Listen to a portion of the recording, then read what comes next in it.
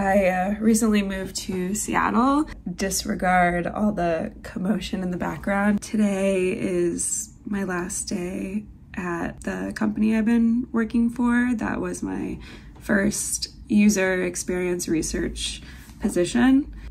I'm leaving to to go to grad school and I'll create more videos on why I think that's important to really further your career as a researcher. The company has been so great to me. They just gave me so much confidence in my ability as a researcher. The people were really kind and it's hard to leave even though I know for my career this is the right decision to go to this program. I'm just really grateful for the opportunity that they gave me.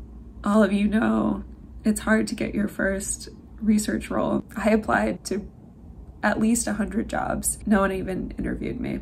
But this company did, and this company gave me a shot. They really helped build my confidence in the role, made it even more clear to me that this was the right path that I should go down. It's never easy to do these things. It's another transition, another chapter closed, and even when it's the right decision, it's still really hard to do.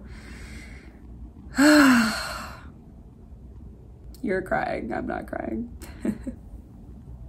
Bye, guys.